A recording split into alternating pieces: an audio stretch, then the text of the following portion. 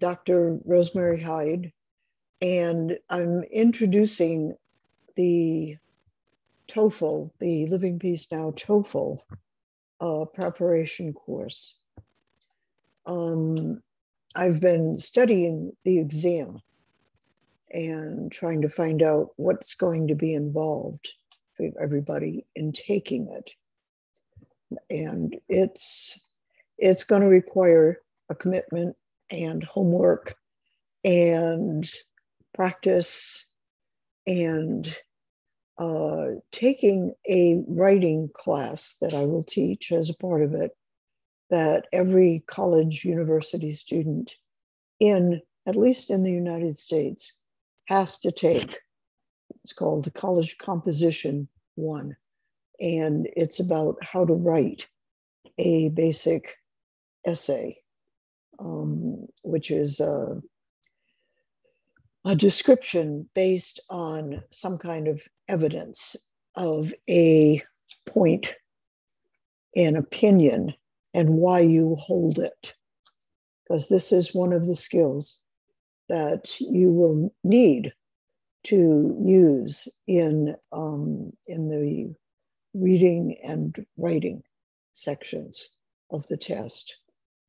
Uh, it will also, there'll be a vocabulary part, and of course, a section on each of the skills reading, writing, speaking, and listening. The writing class that you know you will be able to not have to take if you go abroad at least to a university in the united states because you will be able to demonstrate that you know it. Um, and i'm also going to teach some of the skills of um, inference of deducing what meaning the writer had in mind and the kinds of trick questions that test makers ask and the art of time management in taking the test. So it's not only a test of your skills in English, but a test of your academic skills in taking tests. Um, I know the first time that I took the test, the practice test items, I flunked. I failed. Not because my English was faulty, but because I haven't been practicing test taking skills. So that's going to be a piece of this program. Uh, it will it be a good six months work. Um, and by the end of that time, you should expect you that's this is what I expect that you will be able to take and pass the TOEFL test with scores of at least 100 which is which will get you into any university or any program, um, and um, feel good about it, and feel good about using English uh, as an everyday language. So that's what we're going to be focusing on in the next six months. I'm going to share my screen because this is available for you on uh, Living Peace Now in the calendar section about TOEFL preparation. And this is the um, the list, the of how you will get started um, this week. I don't anticipate that everybody will be ready with a copy of the book for another couple of weeks, but that's the first requirement. So first of all, I'm going to take you through all 40 word and idiom lists in this little book. You could get it on, um, on Amazon, or I don't know how you get textbooks in English where you are. You will not have to get this one, but you'll do less work if you have the book. You'll be able to do the work without having the actual book. It costs $18 US to actually get it. And you can get a used copy or you can share a copy, no problem. So that's the first book, the TOEFL Pocket Vocabulary. It's published by Kaplan, which is a, a U- US company that specializes in preparing people to take all of the big standardized examinations. They are, that's their business, is making sure that people know every single trick and every single skill that Hello, they Professor. need. Hi, Kazi, to do a good job in taking the test and know they can pass it. So we're going to use some of their materials as well. Um, so the book has these lists of words, and I've typed the first list here. Um, it has the list of words, the definition, and the use of the word in a sample sentence, and also any other words that you can learn as knowing these words. And they're not all, as you can look at them, they're not all words you don't know. I don't know how many of you know the word illustrate, for instance. This word is eligible. You know, the words that we're doing in this book, they're words that, you know, are common in everyday speaking and listening. And the test is focusing on English that you will find here use in the classroom. So these are not necessarily, uh, you know, expressions that you will hear in everyday language, but they're likely to come up in tests. And if you really know these, I don't know, 500, 700 words, uh, it'll, you know, increase the probability that you will not have any understanding problems and that you'll be able to carry on a good conversation in the spoken part.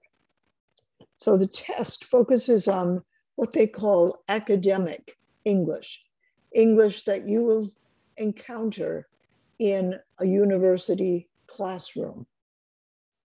So that tells you what kind of materials we need to practice with. We need to practice with informational English.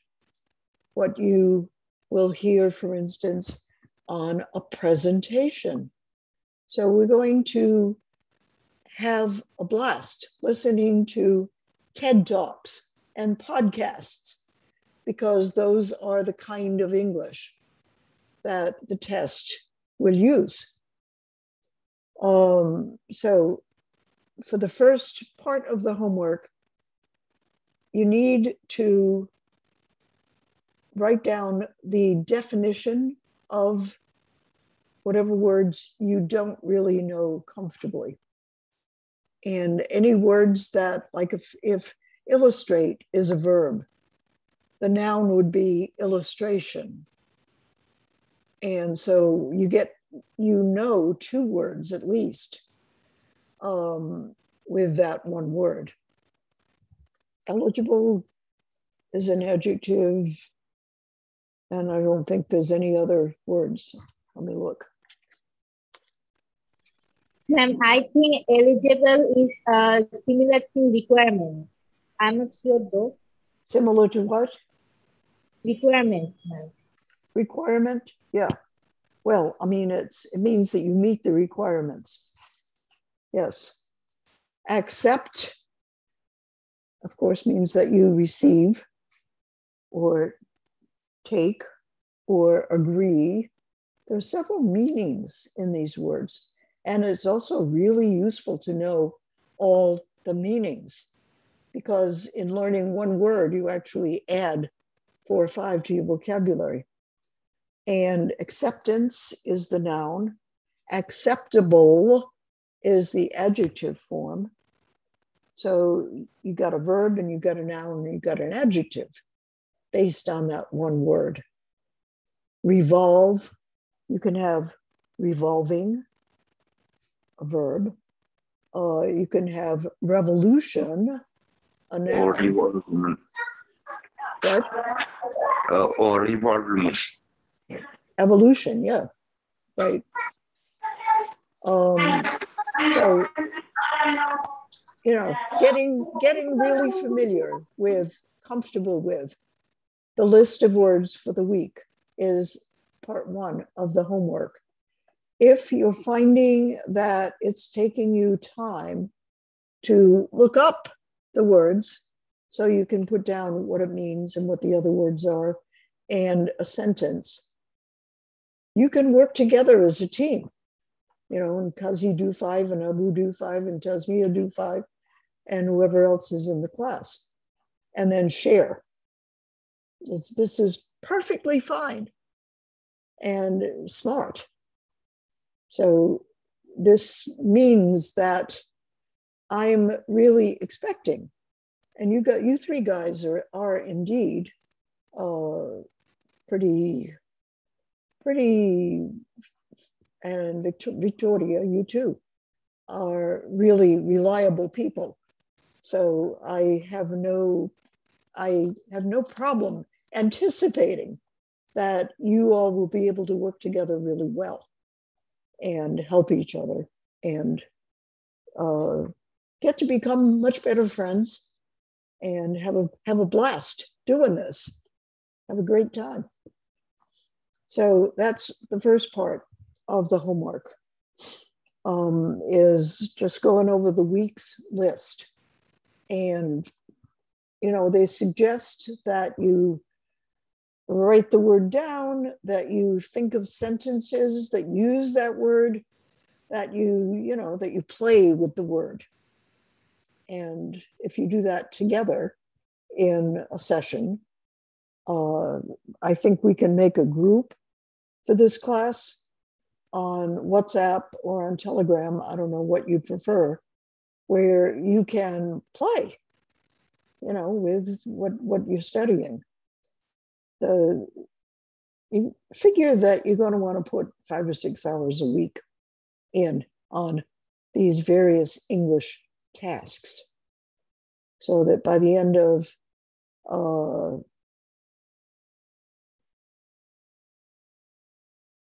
Twenty-four, 25 weeks, which is will take us into next year. Um, you're going to be ready. You're going to be very well prepared to take the test. Uh, so, listening is another thing that you got to practice. And it's important to practice listening to people speaking the language as native speakers. The TOEFL basically uses American English. They may occasionally have a British speaker or an Australian speaker, but basically you've got to understand American. So that's what we're going to use is things to listen to that use American English. And on YouTube, there are what we call TED Talks. There are thousands of TED Talks. They are presentations, people standing in front of the room presenting on a subject that they are an expert on. So it's a very good classroom practice to listen to TED Talks. I would suggest that you all agree on one TED Talk that you're all going to listen to. And then you'll be able to take notes, compare your notes, uh, really, you know, understand together what the point of the talk was and what you know what what the author was really trying to say in no more than three or four sentences. Because that is the essence of the listening and reading questions is they give you multiple choice and you have to be able to say which of four answers that really and truly are not easy to tell apart uh, is the correct one. So we'll also practice uh, when we get the books and have them to work with. I'll also have you practice questions and answers so it becomes second nature to you. Um, so I, I would suggest to you that you take turns. In other words, one week, Kazi, you choose a TED Talk. Like I say, there are hundreds of thousands of TED Talks, and they last between 10 and 20 minutes. That's it. So they're good practice length. In your notes, answer these questions. What are the three or four main points of the talk? Well, actually, what was the main point the speaker made? What did they want you to become aware of? And what were the main two, three, four, there won't be more than that, um, examples or illustrations or data, kinds of data that they shared with you. And that's the outline of the talk. And then use it as, you know, a place to get more vocabulary words. Pick out five words that were important to the talk and that you, you know, became more aware of, learned to understand better as you listened to the talk. And play with those words too. The more words you know, the better off you are. Uh, and then for the third aspect of the homework is reading. And the best way to practice reading is newspapers, magazines. Um, so pick one. Uh, you can, you know, subscribe to a newspaper, for instance, or you know, find a free source. The Guardian, for instance, is a good online newspaper. G U A R D I A N. It's actually a British one, but it's American too. Uh, it's free. And, you know, read it. Read at least one article that interests you. And for each article, answer the same four questions as for the TED Talk.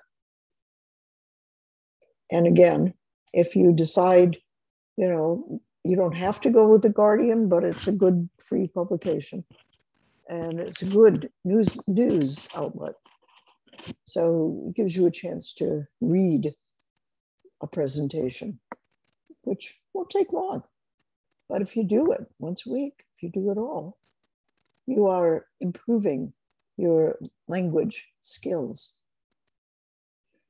And then the other thing is speaking skills and also listening skills and discussion skills. So attend one discussion class on Living Peace Now. Do something live that's spoken. So you get to talk and you get to listen and you get to participate.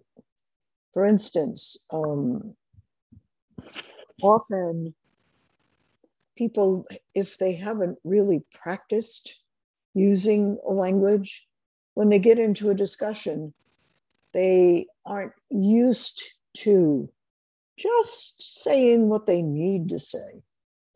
And they say too much around it. And, you know, they're, they're wordy. So learning how English speakers participate in a discussion is one of the things that will happen and that is happening as you guys actually do participate in our discussions. And finally, there is a guide for the test, which has, it is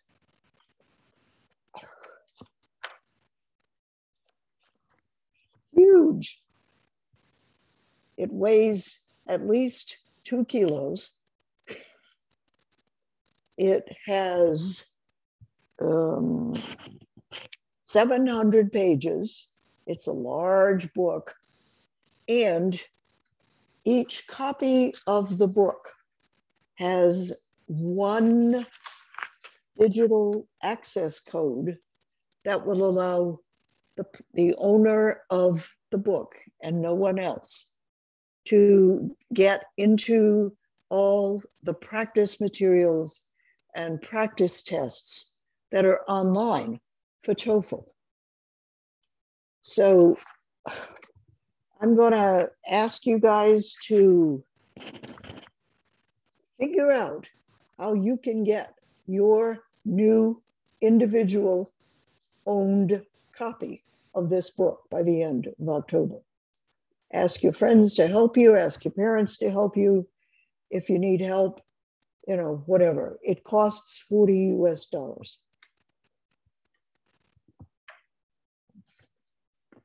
And you lose out if you don't have a copy of, we're using the sixth edition for the internet based test, which is probably what you're going to take, quite possibly from your home. I don't know how they make that secure, but they do. Um, so, you know, we'll, I can't possibly type out all of the different questions and answers and examples that there are in this guidebook. I just can't do that. It's too much. Uh, so somehow you're going to need to get a copy of the book. Uh, there are other expenses with the tests that you need to budget for, to plan for. For instance, in order to take the test, you must have a passport. Go figure. But it's a requirement. You need to show your passport to take the test. So, whatever a passport costs, if you don't have one, you need to get one in the next six months. And there is a fee for actually taking the test. And it varies from one country to another.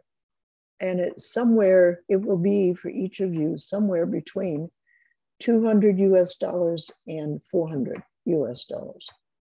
And that too will be due when you register to take the test.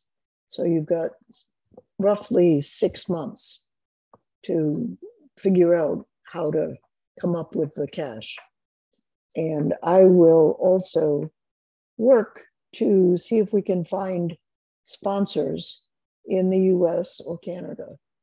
If somebody needs assistance, let me know privately, and we'll put together a, um, a dossier and see if we know someone who would like to provide some of the money that you will need to get the passport and take the test. Okay? If you don't need that, great. It's easier. But if you do, it's okay. We'll make it happen. Uh, professor, everyone has gone, but you and me, you and me now. Yes, I know. But this, like I said, I'm recording this, so it's on the on the site, and anybody can look at it. So that's basically the, you know, the uh, the information that you need to know to prepare for this test. The official TOEFL IBT guide, sixth edition. And here's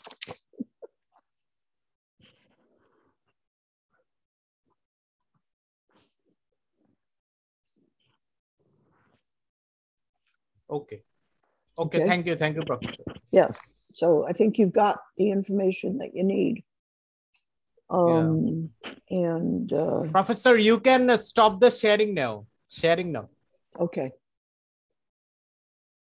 So I look forward to seeing people next Wednesday with the first homework done.